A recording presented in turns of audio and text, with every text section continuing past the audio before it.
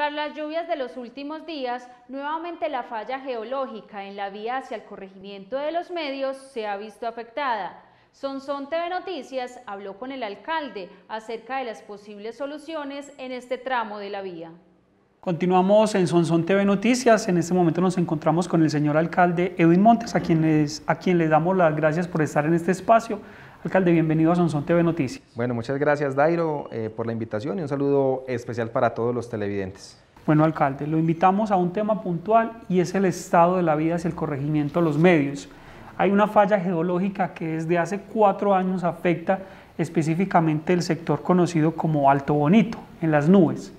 Eh, eh, cada que llueve fuertemente, como lo que estamos pasando en este momento, hay un deslizamiento de tierra que interrumpe pues el paso de la vía y puede generar otro tipo de afectaciones. Hablemos, alcalde, del estado actual de, esta vía en este punto en específico del que estamos haciendo mención. Hemos eh, estado en las últimas semanas eh, con un aumento bastante significativo de lluvias. Hemos estado atravesando un invierno bastante eh, fuerte que ha hecho pues diferentes estragos en, en muchas de nuestras carreteras, pero puntualmente eh, uno de los pasos más críticos que tiene el municipio, desde hace, como lo bien lo dijo Dairo, hace cuatro años, es el paso eh, conocido como Las Nubes en la vereda Laureano Gómez, que es un volcán, una falla geológica de proporciones mayores, que cuando está en verano, cuando el tiempo está seco, pues digamos que es mínimo, eh, digamos, la afectación o, o el material que baja, sin embargo nunca deja de bajar agua por ese volcán. Y en invierno, por supuesto, se empeora tremendamente. En este momento, eh, por ejemplo, nos toca tener una máquina permanentemente allá destapando para eh, buscar que los campesinos puedan seguir transitando de manera normal y que las escaleras sigan sacando los productos.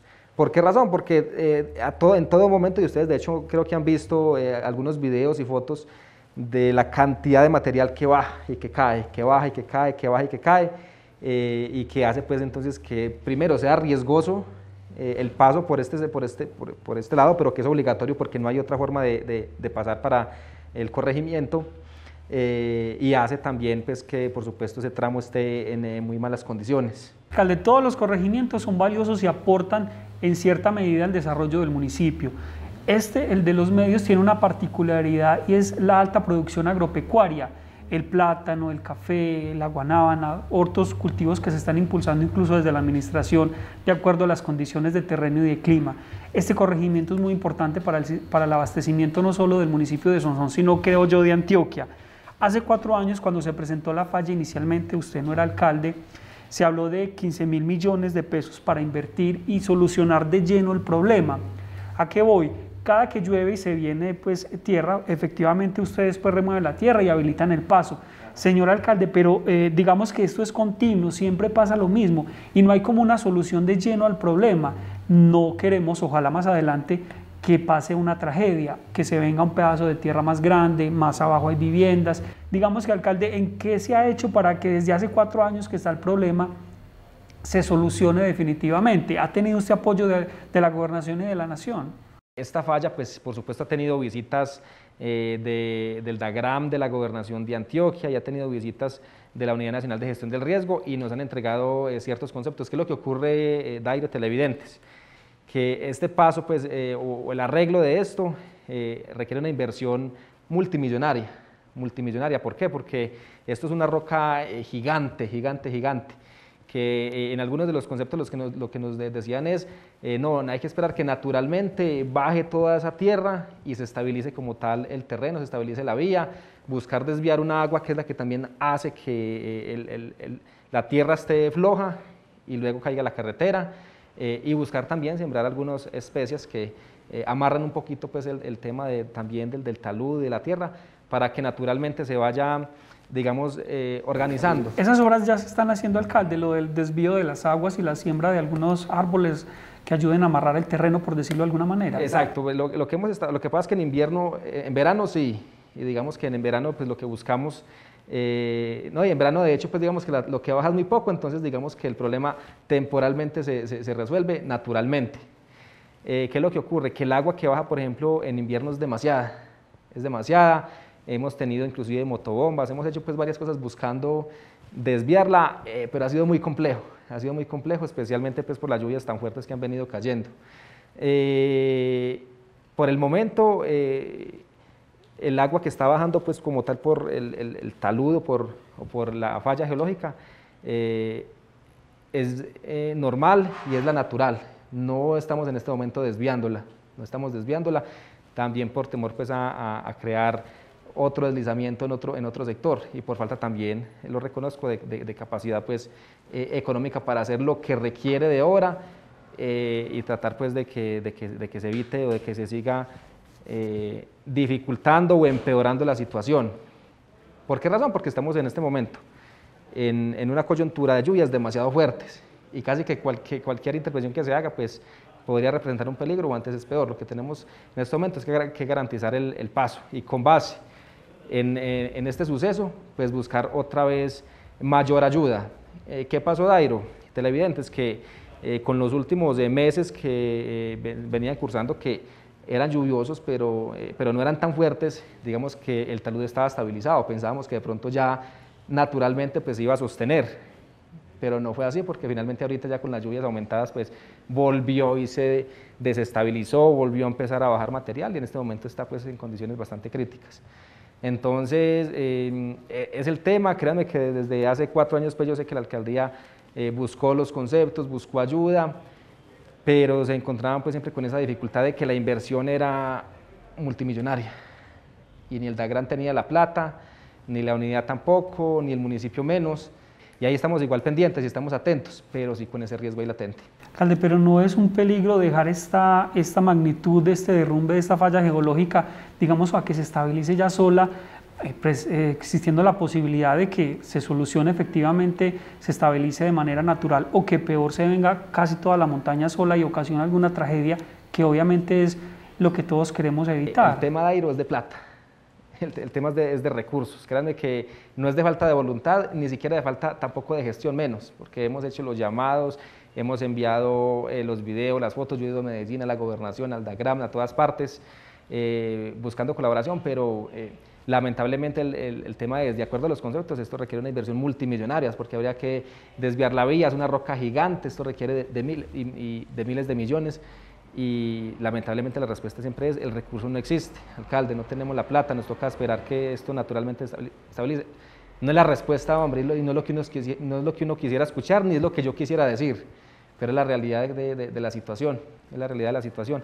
Alcalde, hace cuatro años, específicamente en el mes de noviembre del año 2017, también en una temporada fuerte de lluvias, fue donde se desprendió la mayor cantidad de tierra que incluso estuvo por varios días completamente cerrada la vía. Los campesinos en ese entonces, para poder ir hacia sus casas y sacar los productos, se tomaban eh, lo que popularmente conocemos como un desecho, un camino de herradura que quedaba hacia la vía, hacia las cruces, por el lado de encima y lograban como medio movilizarse. Era un poco trágico eh, eso porque estuvimos por ahí y literalmente el pantano llegaba hasta las rodillas Digamos que no existe un plan B por si de pronto el día de mañana se viene gran parte de ese terreno que obstaculice la vía y esté cerrada por varias semanas. De pronto la administración municipal tiene un plan B para que esto no vuelva a pasar y se quede completamente incomunicada tantas veredas de ese sector. Claro, no, no, no podemos dejar incomunicado un corregimiento que produce tanto. O sea, una despensa agrícola de esas no se puede dejar incomunicada. No, por supuesto el plan B siempre va a ser la alternativa por la carretera de las cruces, que lo que pasa es que es muy compleja pues y es muy difícil y digamos que es un tramo bastante eh, de, características bastante duras, pero en el evento de que toque, pues por supuesto estaremos apoyando eh, la movilidad por ese sector, ¿cierto? Por el momento es tratar de garantizar de que eh, la carretera pues se, siga, se siga manteniendo pues por donde está en este momento. ¿Por qué razón además? Porque pensar en, una carretera, por otro lado, los conceptos que nos han entregado es que es casi imposible. Yo recuerdo que en la vía Las Palmas o Medellín-Bogotá por Copacabana han ocurrido eh, movimientos de tierra muy similares y tristemente, alcalde, eh, se demoran 15 días para estabilizarlo, eh, ingenieros, topógrafos están ahí, tal vez porque somos una vía terciaria. Yo entiendo las dificultades económicas, pero ojalá, alcalde, desde las entidades nacionales y departamentales nos, nos echen ojo ahí porque el corregimiento de los medios es eh, fundamental para, para, los habitantes de Sonsoni y del departamento. Es, no, es fundamental totalmente y es mucha la cantidad de personas que se, que se perjudican. Obviamente, pues eh, no se puede comparar eh, eh, eh, el avance o la ayuda para la segunda vía más importante del país que la que comunica a un corregimiento de un municipio, ¿cierto? En el término, pues, en, afectaciones, en cantidad de gente, pérdida económicas, pues no tiene comparación. Pero finalmente son personas, son campesinos, son productores que merecen también igual atención. Bueno, alcalde, finalmente una radiografía del estado actual de las vías terciarias en una época invernal fuerte que atraviesa pues el oriente antioqueño. Eh, muy compleja, Dairo, la verdad muy compleja porque las lluvias han sido fuertes, tenemos varios puntos eh, críticos eh, que ameritan, inclusive salí hace un, un, momento de reunión de gestión del riesgo extraordinaria justamente para hablar del tema de carreteras. ¿Por qué? Porque hay unos puntos críticos que amenazan, pues digamos, la, la tranquilidad o la seguridad de muchos campesinos. Entonces, ahorita se va a hacer una visita urgente eh, para hacer una, unos convenios que nos permitan al menos mitigar esos riesgos eh, mayores que hay en algunas carreteras. Por ejemplo, las eh, Guamal, Guamal en, en, un punto crítico, los potreros en un punto crítico que hay una pérdida de banca y los medios. Y con esto puedes hacer unos gaviones urgentes, eso es una cosa urgente porque las lluvias han hecho pues que, que avance muy rápido en el tema de la pérdida de banca y que genere mucho riesgo, entonces para hacerlo ojalá la próxima semana. Eh, hay algunas carreteras con dificultades en el Magdalena Medio, el Alto de Sabana, pues arreglamos del Alto de Sabanas hacia la Loma, pero hay eh, nos falta el tramo pues de, eh, de, la entrada para Llanadas hasta el Alto de Sabanas, que el recurso está, que el recurso lo tiene la Junta de Acción Comunal porque se los entregué a ellos para empezar a hacer unos convenios con el transporte del material, pero que no hemos arrancado específicamente por las lluvias, por las lluvias. Otra carretera que tengo en regulares condiciones, la que comunica del Alto de Sabana, por ejemplo, a eh, la vereda La Aguadita. Reitero, pérdidas de banca, volcanes por doquier, volcanes por todas partes, eh, pero que hemos estado tratando de atenderlos y de no dejar tapada ninguna vía, ni de dejar, y estoy eh, siempre pendiente de que ningún campesino se quede incomunicado con el municipio. he mandado máquina para Río Verde, eh, a que quite los, volcanes y la, escalera pueda transitar con dificultades, pero que transite. He mandado máquina para Norí, he mandado máquina eh, para los medios casi que permanente, he mandado máquina para el Alto de Sabanas también, eh, buscando eso, que el tránsito no se interrumpa, al menos mientras pasa esta temporada de lluvias para continuar con las reparaciones de las carreteras que quedan tan dañadas. Bueno, señor alcalde, muchas gracias. Bueno, con mucho gusto, un abrazo para todos, feliz día.